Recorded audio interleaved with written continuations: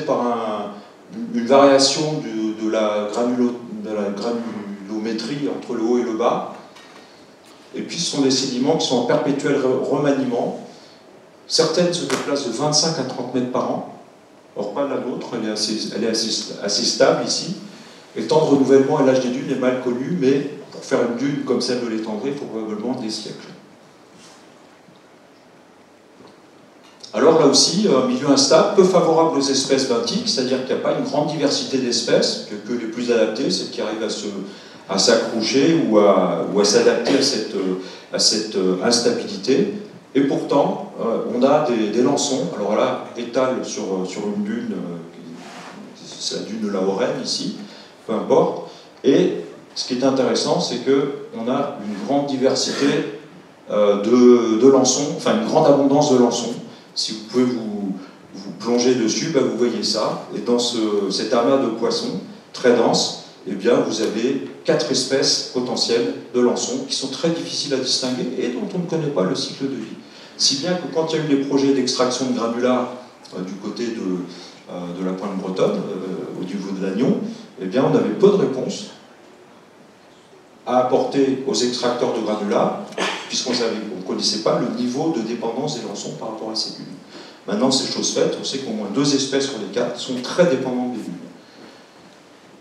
Donc euh, les lançons sont à la base de tout ce qu'on appelle le réseau trophique, c'est-à-dire le réseau alimentaire euh, de, de la côte. Ça va euh, donc aux oiseaux marins avec guillemots, fous de bassin, sternes, kojek, bar, etc. Énormément d'organismes prédatent, consomment ces, lançons. vous avez aussi les mammifères marins, 12 espèces de mammifères marins au niveau européen dépendent assez euh, fortement des lançons pour leur reproduction. Alors donc, comme je vous disais, les différentes euh, sources de végétation, j'ai pas oublié, mais je n'ai pas pris le temps de vous parler du phytoplancton, ce qui est donc le plancton de, la masse d'eau, eh bien, des organismes qui ne sont pas consommables directement, mais qui sont annuels et qui se dégradent, et qui finalement forment un pool de, de, matière organique particulière pour ceux qui plongent lors de certains moments, euh, c'est trouble l'eau, puis on voit des, particules qui sont en suspension dans l'eau. C'est la neige marine. La neige marine, elle est composée de toute cette matière organique en, décomposition. Et finalement, cette matière organique en décomposition, elle est colonisée par plein d'organismes à leur tour et sont consommés par tous ces animaux euh, que je vous ai exposés tout à l'heure, sont filtrés, ce sont tous des, filtreurs des brouteurs de. Euh, bon, je ne rentre pas dans les détails, mais des déposivores, c'est-à-dire ces organismes qui mangent qui est posé au fond. Et également, ce sont les sources d'alimentation principales, les 20 000 tonnes de, moules de la baie du Mont-Saint-Michel se nourrissent exclusivement de cette matière organique particulière, donc qui est en suspension dans l'eau, et qui est très fortement composée par cette matière organique en décomposition, qui provient des macroalgues, notamment dont je vous parlais. Donc si vous mangez des moules, vous, pouvez vous dire que c'est grâce aux marais salés, c'est grâce aux herbiers zoster, c'est grâce aux macroalgues. Voilà. Alors, si, chose importante, c'est que en baie du Mont-Saint-Michel, les 20 000 tonnes de moules filtrent deux fois le volume d'eau par marée. Si elle filtre deux fois ce volume d'eau, eh bien, ça fait de la bouffe en moins pour les autres organismes sauvages. Donc, il y a une interaction entre les moules, les coques, les coquilles Saint-Jacques, etc., qui vivent à peu près au même endroit, ou en tout cas qui dépendent de la même masse d'eau. Donc, pour résumer ça, vous avez les producteurs primaires, vous regardez cette pyramide qui va se, construire peu à peu. Les producteurs primaires, c'est ceux ces organismes qui dépendent de l'énergie solaire pour produire de la matière végétale, des nitrates. Ensuite, nous avons les consommateurs, donc tous les organismes dont je vous ai parlé, qui vont brouter plus ou moins directement cette matière végétale. Et tout en haut, vous avez donc poissons, des petits organismes qui sont des prédateurs inférieurs, on va dire, mais vous avez des prédateurs supérieurs, comme le cormoran huppé, le dauphin commun, et le phoque marin. Donc ça, c'est le phoque marin pris euh, dans les sphères de l'Arménie. Or, les mammifères marins, sachez qu'il y a 400 dauphins à peu près, une colonie de 400 dauphins à l'échelle du golfe normand-breton. C'est une colonie qui est en, une population qui est en augmentation. Et les phoques de, la baie de l'Arguelon sont 8 maintenant. Il y a eu de, 3 reproductions déjà jusqu'à maintenant. Donc euh, il y a des choses qui vont bien au niveau de la biodiversité. Il faut savoir euh, le dire. Ah, ça c'est pas bon. Ah si, bah ça c'est un, autre exemple. C'est que ici on est en baie du Mont-Saint-Michel. Voilà. Et puis on peut représenter la pyramide trophique de la même manière, c'est-à-dire beaucoup de biomasse ici, et puis plus on monte dans les niveaux trophiques, moins il y en a. Et vous voyez, on arrive aux phoques tout en haut. Mais il y a aussi les chasseurs qui arrivent au même niveau, c'est-à-dire qu'ils prennent euh, chasseurs et pêcheurs qui, sont au même niveau trophique, tout en haut de la chaîne alimentaire, que les phoques. Mais si vous prenez la partie droite, eh bien vous voyez que les moutons vont paître les marais salés, les moules vont filtrer l'eau au même niveau que les invertébrés de, la baie, et puis bah, les bergers, les conchilicuteurs vont euh, avoir le même niveau que les poissons et les oiseaux, et les pêcheurs ils sont tout en haut. Donc il y a une, concurrence permanente, au fond pour la production primaire, que se partage la portion naturelle du réseau trophique et la portion, on va dire, euh, humaine. Tout ça, ça remonte. Et puis, bah, ce qu'on n'ose pas dire, vous voyez, c'est qu'il y a quand même des interactions entre les moutons et les poissons. Entre les moules, les producteurs de moules, et puis les oiseaux limicoles. Donc tout ça, c'est en interaction permanente. La flèche est subreptice parce que euh, faut pas trop le dire, mais tout est lié. Tout est lié. Faut pas trop le dire, j'exagère, on en parle beaucoup au contraire, et c'est des objectifs de, gestion. Voilà. Alors, j'étais dans les algues, j'y reviens. Et vous voyez que ce sont des, ce qu'on appelle des hotspots de biodiversité. Les algues tempérées, voilà, elles sont, les, algues brunes et les algues rouges, elles sont très nombreuses dans les zones tempérées. Plus c'est rouge, plus la diversité est forte et plus l'abondance est forte. vous voyez que dans les zones tropicales, les algues sont beaucoup moins nombreuses. En Bretagne, toutes les zones rouges euh, et jaunes sont capables d'accueillir des algues. Ce sont les substrats rocheux. Si on regarde, ça fait une surface quand même de 4300 km au total, mais si on prend que les profondeurs où les algues rouges sont abondantes, ça ne fait plus que 3000 km. Ce sont des, habitats potentiels pour les algues rouges, ça fait environ 3000 tonnes de biomasse à l'échelle de la Bretagne. 3000 tonnes, quand je parle de cela euh, aux, exploitants d'algues qui se disent bah, exploiter. Pour, les, par exemple, l'algopac, bah, c'est une ressource. Euh, c'est un producteur d'emballage euh, fait à partir d'algues. C'est très vertueux, c'est très intéressant. On a les producteurs de wakame, c'est encore euh, une autre chose, puisque les wakame sont des algues qui ont été introduites, qui sont partout en Bretagne et en Europe maintenant. Et puis les laboratoires pharmaceutiques et puis et puis qui, cosmétiques, bon, voilà, qui, sont très présents sur le secteur. Mais nous, ce qu'on explique à nos collègues de l'industrie, c'est qu'on ne peut pas simplement raisonner en termes de, ressources, il faut raisonner en termes de biodiversité. C'est-à-dire que ces algues sont à l'origine de la biodiversité de, nos systèmes côtiers, de tout le fonctionnement. Donc on peut en prélever certainement une partie, c'est évident, mais il faut bien réfléchir au fait que il faut les conserver si on veut conserver la biodiversité qui nous est Alors maintenant, je vous parle du changement global, quelques exemples. Donc, au niveau euh, mondial, la moyenne de réchauffement euh, de l'eau marine est de 0,2 degrés par décade. Alors ces changements de euh, ce réchauffement agit sur le changement de régime océanographique, c'est-à-dire les courants marins, sur la fréquence et l'intensité des tempêtes, avec une possibilité de dessalure des eaux côtières, une amplitude des températures, des, enfin, euh, des amplitudes thermiques de plus en plus euh, élevées, plus froid en hiver éventuellement et plus chaud en été, une turbidité qui augmente, et puis euh, une acidification des océans qu'on ne ressent pas trop dans nos, régions, probablement parce qu'on a beaucoup de calcaire. A beaucoup de, sédiments bioclastiques c'est-à-dire euh, des, sédiments calcaires qui sont produits par les coquilles, notamment des bivalves et des, et des marins. Et pour la biodiversité, eh bien, tout ça, le, fait qu'on ait une modification des courants, ça va faire que les dérives larvaires peuvent être changées, donc la distribution des organismes peut changer. On a des adaptations biologiques. S'il fait plus chaud, bien, on ne va pas se reproduire de la même manière au même moment de l'année. On ne va pas forcément avoir la même fécondité. Certaines espèces vont favoriser, d'autres non. Et les aires de distribution peuvent euh, changer avec des déplacements, des disparitions de certaines espèces sensibles qui ne supportent pas le chaud, par exemple. Alors on a fait ça, on a fait cette étude sur les, sur les algues, et en gros, on a travaillé l'échelle à Bretagne, rappelez-vous, c'est intéressant parce que c'est un carrefour biogéographique.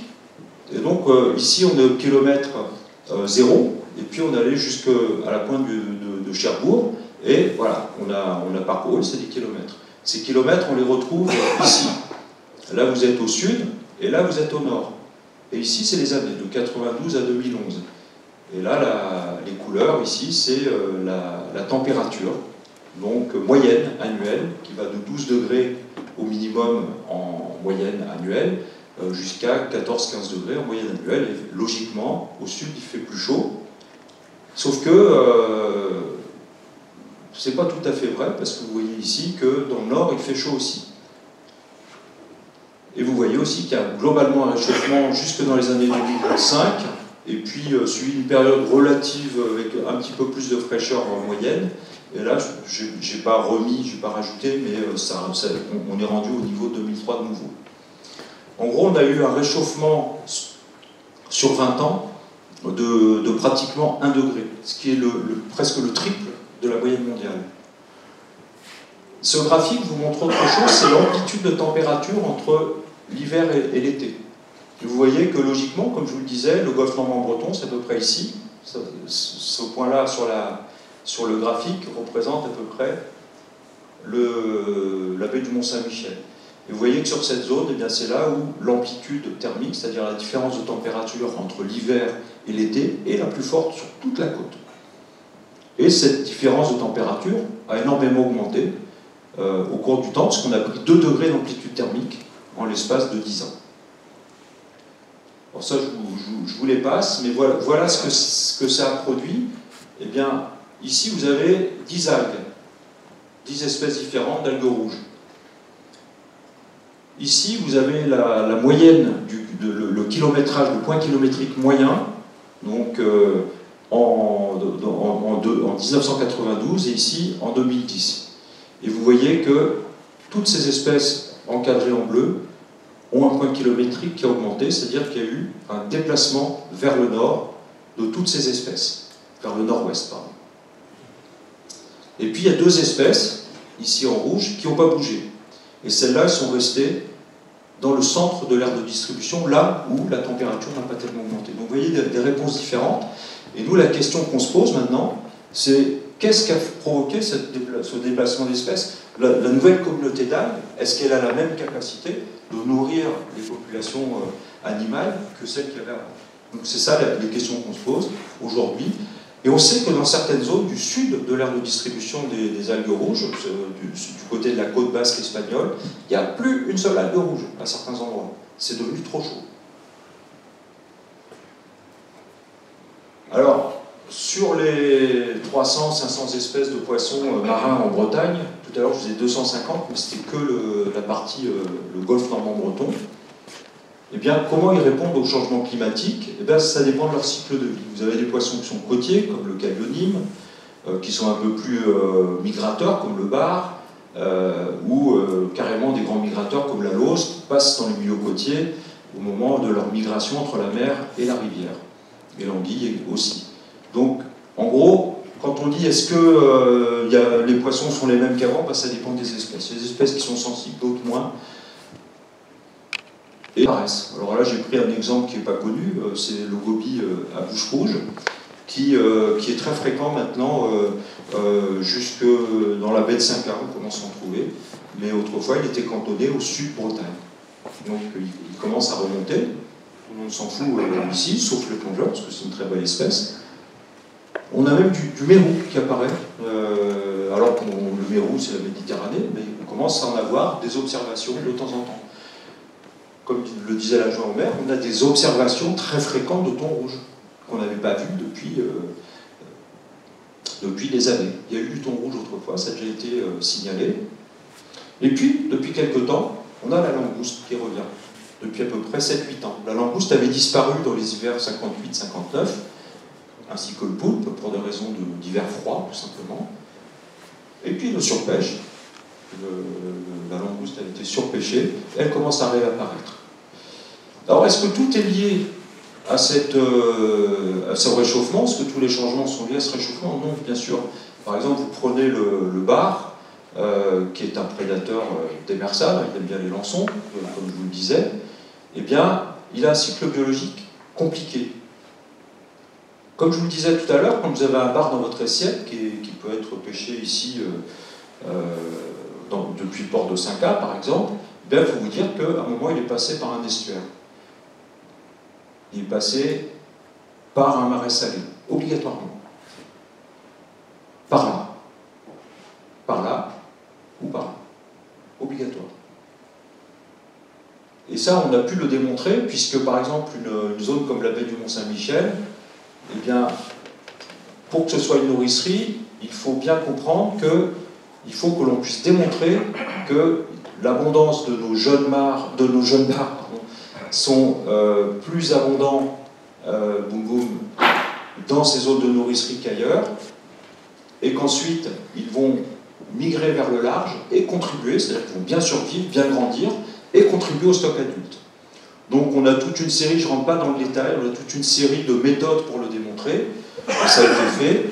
Et puis ce qu'on a pu montrer, c'est que les juvéniles qui sont produits, enfin qui, sont, qui ont grandi en baie du Mont-Saint-Michel, eh bien, on va les retrouver euh, jusque, euh, comment dirais-je, euh, jusque dans la Loire, jusqu'à Belle-Île, jusqu'en Angleterre. On a pu le montrer sans problème, enfin, avec problème, parce que c'est une technologie très lourde. C'est-à-dire qu'on va chercher des, des, marqueurs, des traceurs environnementaux, des éléments traces, à l'intérieur d'une concrétion calcaire qu'on appelle l'autolite, qui est dans l'oreille interne des poissons. Voilà, donc c'est des technologies développées qui nous permettent d'avancer de plus en plus sur la connaissance de la biologie des espèces. Mais dites-vous qu'un bar qui va grandir dans la, baie de l'Arguelon, eh bien, il peut être retrouvé n'importe où en Europe de l'Ouest.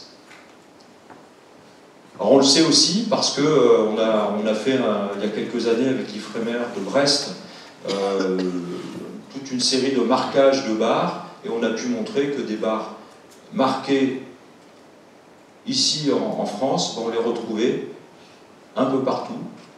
Euh, donc ça veut dire qu'il y a vraiment une connexion entre les, nourrisseries à l'échelle de la Manche et même au-delà, parce que certains bars ont été trouvés jusqu'en Irlande, euh, les marques ont pu euh, nous, le montrer, et puis tout est connecté. C'est-à-dire que quand on parle d'une population de bars, c'est une ressource partagée à l'échelle de la Manche, au moins. Une, donc il faut une approche communautaire. Avec le Brexit, ça va être un peu plus compliqué, franchement. Jersey n'a jamais été dans l'Europe, donc ça ne va rien changer. Et le contrôle de la pêche ne suffit pas, parce que vous savez qu'actuellement, les amateurs n'ont le droit de pêcher qu'un bar par jour par personne, parce que l'espèce décline. Mais si on ne gère pas les habitats essentiels, les marais salés, les estuaires, les vasières, eh bien, on aura tout faux. Si on, ne fait si on ne porte l'effort que sur la gestion de la pêche pour résoudre le problème du déclin du bar, on se trompe. Un autre exemple, les raies brunettes. Les raies brunettes ont été, euh, tout ça sont des travaux qui sont menés au laboratoire euh, à Dinard. Eh bien, ici, vous avez par deux méthodes différentes, Là, c'est en collaboration avec les pêcheurs, c'est des, observateurs marins qui embarquent sur les bateaux et qui comptent tous les poissons capturés par les pêcheurs. Donc, c'est des bateaux de plus de 12 mètres, donc je ne pense pas que ça concerne tellement ceux de, de 5A.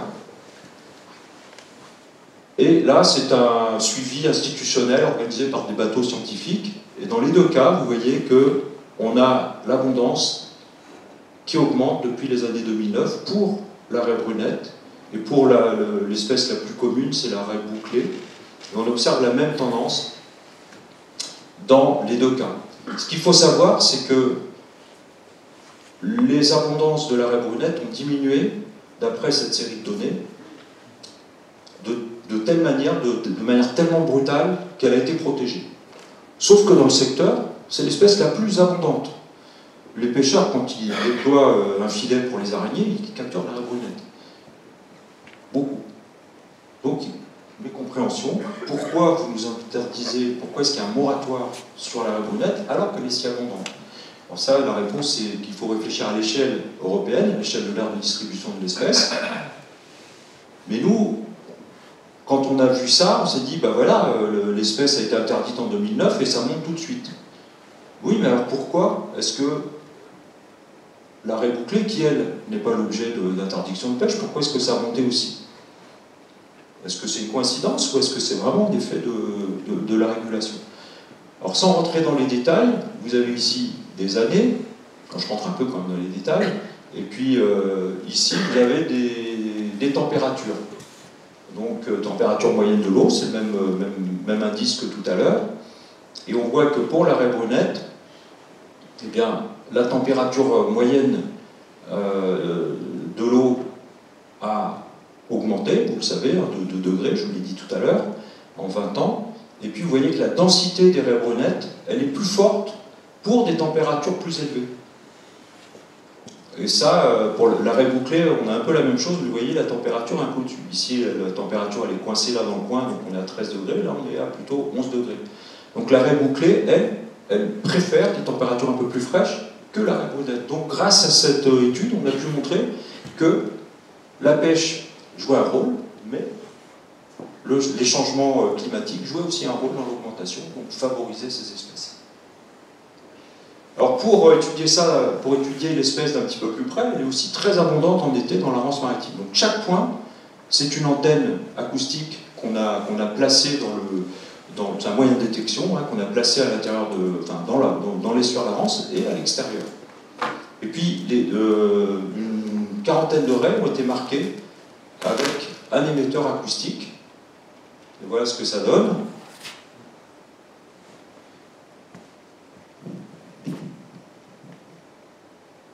Donc euh, là, euh, c'était après, donc euh, en mai dernier.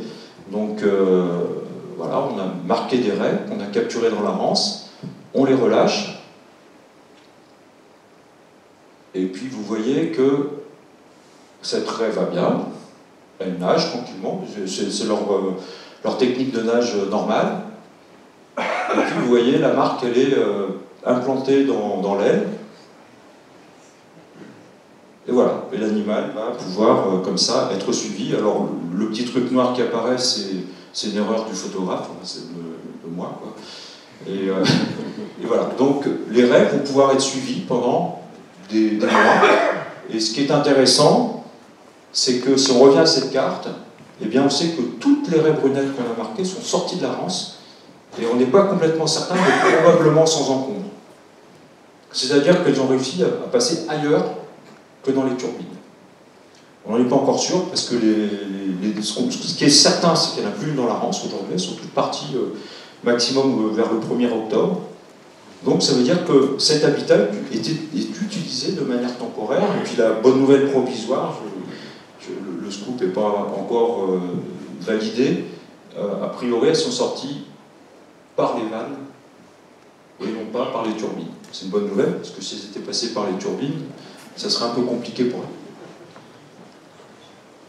Voilà, alors autre, autre euh, comment dirais-je, autre euh, effet du changement global, c'est l'élévation du niveau des mers. Je, vous illustre, alors ça c'est quelque chose qui m'a été fourni par Antoine Collin, un, collègue de l'EPHE de Dinard, qui utilise des, méthodes de télédétection.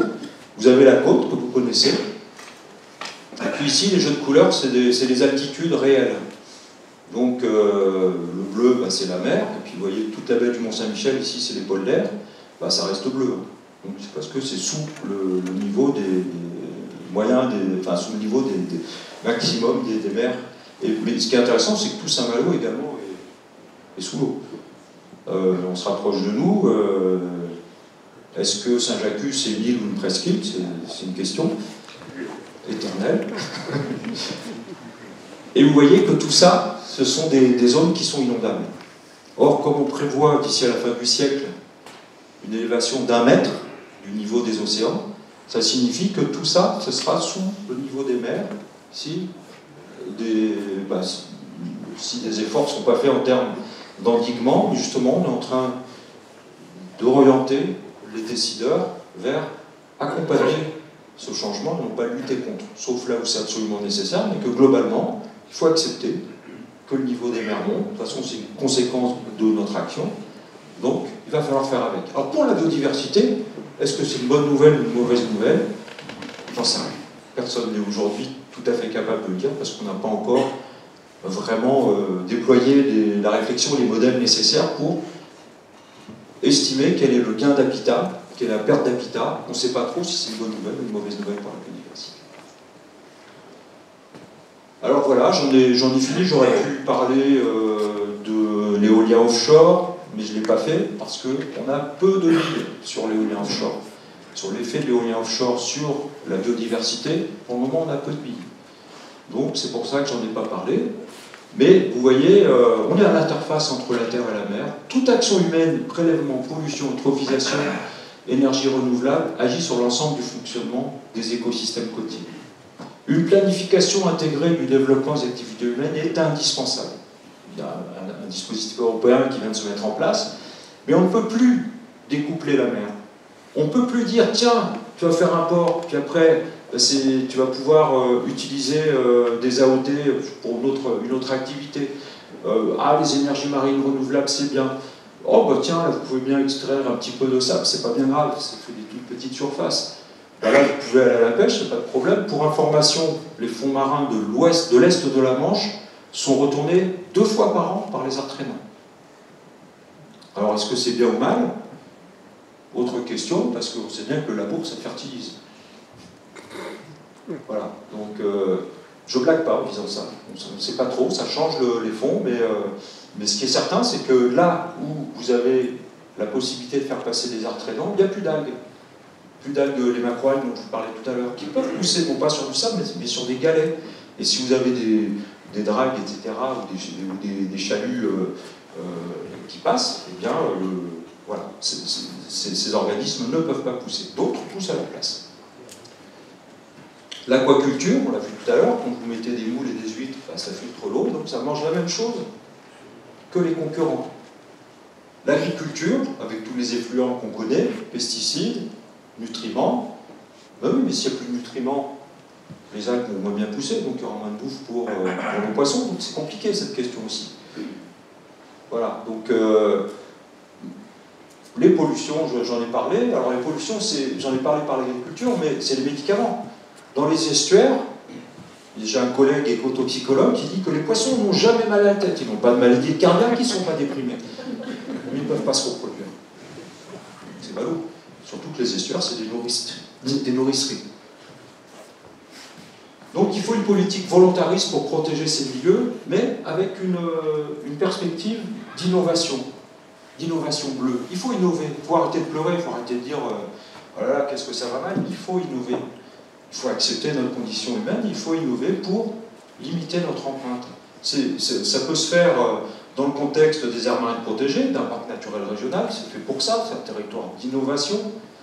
Et moi, j'en profite pour vous dire qu'il est indispensable, si on innove, il faut également mesurer, il faut travailler sur, euh, sur, sur l'effet, les effets de ce qu'on met en place pour protéger cette biodiversité, pour développer une économie bleue, c'est essentiel.